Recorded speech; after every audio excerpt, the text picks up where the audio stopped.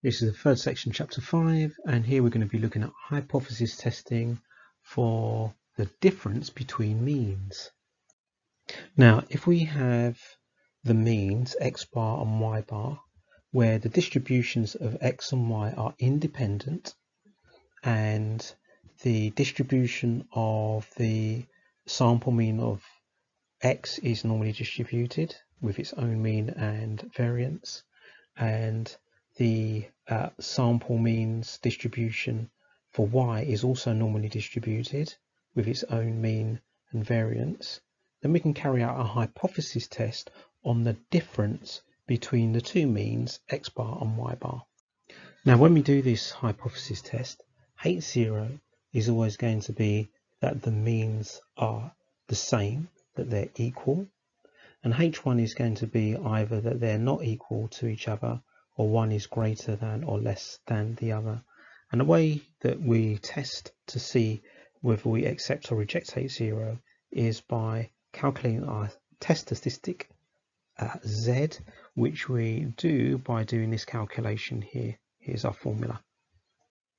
Now you're going to get your critical value. That's going to tell you whether you accept or reject H0 based on the value of the test statistic by comparing this value of Z with the Z value from our percentage points table or from your calculator. And we need to remember that these can be upper tail or lower tail tests or even two tail tests. So drawing a diagram might help. So for example, if we were doing a test at the, um, let's say 5% level of significance, so that would be 95% over here, and it was an upper tail test so we'll be looking at this part here. Uh, that would be our critical region. Then our uh, upper value here would be 1.96 so if our value of z is greater than 1.96 we would reject H0 there's evidence to suggest there is a difference between the means.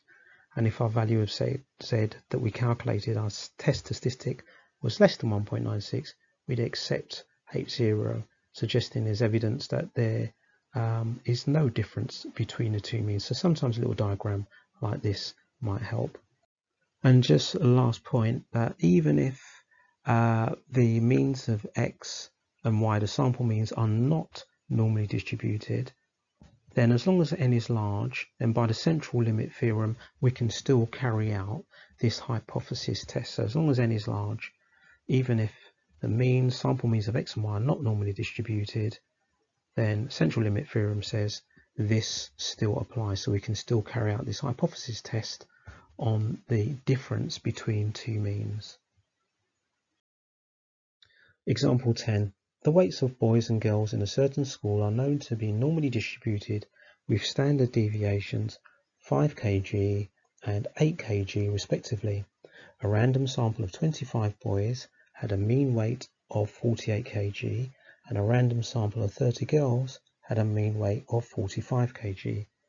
Stating your hypothesis clearly, test at the 5% significance level or level of significance whether there's evidence that the mean weight of the boys in the school is greater than the mean weight of the girls. So I'll start by writing my formula down here that I'm going to use and then before I start writing down H0 or anything like that I'm going to write down the values that I've been given in the question.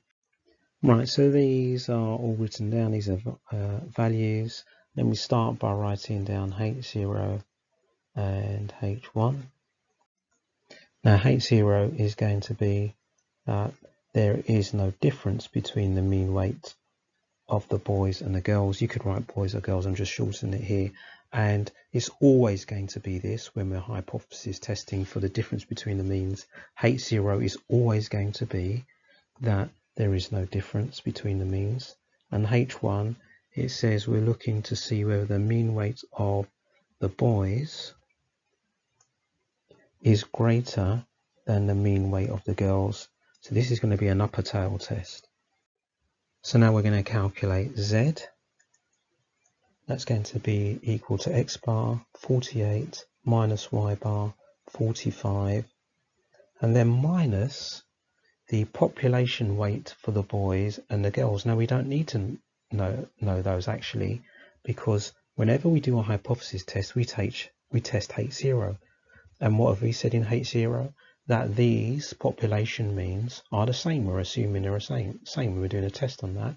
So if they're the same, then when we subtract one from the other, we're going to get zero. And that's always going to be the case for the top part of the calculation. It's always going to be minus zero. It's always going to be that. And then divided by the square root of so we want the standard deviation of the boys, 5 squared, sorry, the variance of the boys, 5 squared, over the sample for the uh, boys, 25, plus the variance for the girls, 8 squared, over the sample for the girls, which is 30. So um, from our calculators, we get 1.69478 and so on so this is where our little drawing of a normal distribution helps. It's an upper tail test. It's 5%, which means that this area down here is 95%. And then we can use our calculator or the percentage points tables to work out the critical value. Personally, I'll probably just prefer to use my calculator. We'll go to inverse normal. We'll type in an area of 95% because we always want the area from the left we'll type in the value of our, or we just use the standard normal distribution, and that will give me a value of 1.64485. Okay, so that is my critical value. Now we compare our calculated value of z with our critical value, and our calculated value of z, our test statistic 1.64798 is greater than our critical value, which means this value of z is now in this critical region here, which means we're going to reject H0, which means there is evidence that the mean weight of the boys is greater than the mean weight of the girls. Example 11. The weights of boys and girls in a certain school are known to be normally distributed with standard deviations 5 kg and 8 kg respectively. A random sample, let's highlight these here, underline these. A random sample of 25 boys had a mean weight of 48 kg and a random sample of 30 girls had a mean weight of 45 kg. Stating your hypothesis clearly, test at the 5% significance level, level of significance, whether there is evidence that the mean weight of the boys in the school is more than 2 kg greater than the mean weight of the girls. Now this is very similar to the last question, apart from this last bit. Here's the difference. So we're not testing to see whether um, one is greater or less than the other, but that it's more, th it's more than 2 kg greater, or the mean weight of the boys is more than 2 kg greater than the mean weight of the girls. So I've written down my formula, I've written down the values that are given in the question. We just need to think carefully about what H0 is and what H1 is. Now, if you're not sure about H0, it may be actually easier to start with H1 because we know with H1 that the mean weight of the boys is more than 2 kg greater than the mean weight of the girls. In other words, the difference between them, the weight of the mean weight of the boys minus the mean weight of the girls is more than 2. Now once we've got this, it's easy to work out H0 because you basically replace that sign symbol with an equal sign. So the mean weight of the boys minus the mean weight of the girls is equal to 2. So if you're never sure about what to write for H0, sometimes you can start with H1. That's fairly straightforward to work out from that sentence and just replace that sign with an equal sign. And there we go got h0 now we're going to work out our value of z here. So that's going to be 48 minus 45 again minus 0 which would be the case if the means were the same. But what are we saying about the difference between the means here? It's actually 2 if we went to the previous example you could write this as mean of boys minus mean of girls equals 0. So we'd get that here. But now we're saying the difference between them is 2. So actually what we write down here is 2. So that just matches up basically with what we've got written here for H0. And we're carrying with the bottom of the calculation.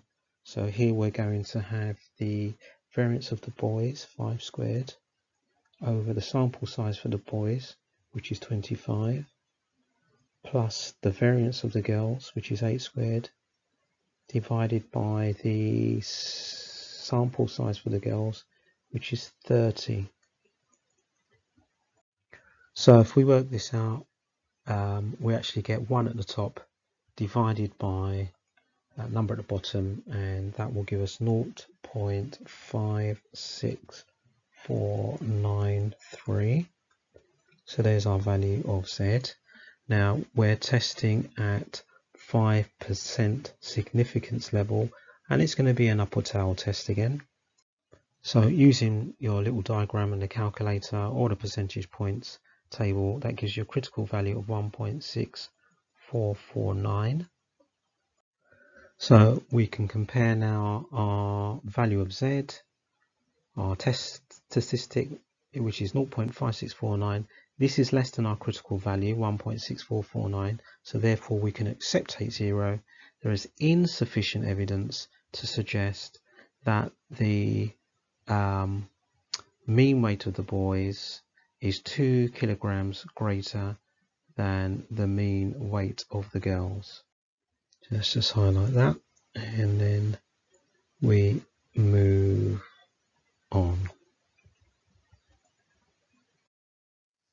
Example 12. A manufacturer of personal stereos can use batteries made by two different manufacturers. The standard deviation of lifetimes for never die batteries is 3.1. Standard deviation, never die batteries 3.1. And for everlasting batteries 2.9 hours. Everlasting batteries 2.9 hours. A random sample of 80 never die batteries and a random sample of 90 everlasting batteries were tested and their mean lifetimes were 7.9 hours and 8.2 hours respectively. Stating your hypothesis clearly, test at the 5% level of significance whether or not there is evidence of a difference between the mean lifetimes of the two makes of batteries. Right, so here's my formula, here are my values. The top row here represents the values for the never die batteries, so there's sub n, and bottom row here represents the values for the everlasting batteries where I've used sub e. So I'll start off by writing H0 and H1.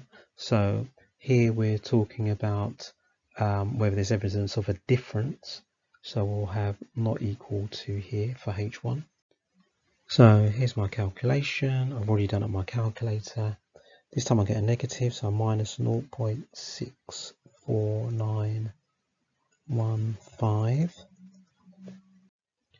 Now this is where we uh, draw our little normal distribution. It's a two-tail test. So we split the 5% significant level to 2.5% using the percentage points table our calculators. Calculators will give us 1.9599 we may recognize that as the 1.96 and a negative 1.96 so those are our critical values. So comparing our value of z with our critical values here we can see that uh, our value of z is not in the critical region. It's going to be in this area here. These are the critical regions over here greater than 1.96 less than minus 1.96. So since it's not in a critical region, we're going to accept H0. There's insufficient evidence to suggest that the mean uh, lifetime of the two the batteries um, are different or the mean time of never die is different to the mean time of the everlasting battery. So you should now be able to do exercise 5C on pages 130 to 131 of the textbook.